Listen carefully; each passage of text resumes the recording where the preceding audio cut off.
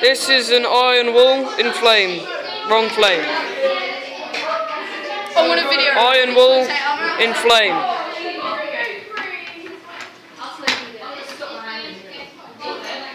It has a very. See if I can just do this quickly.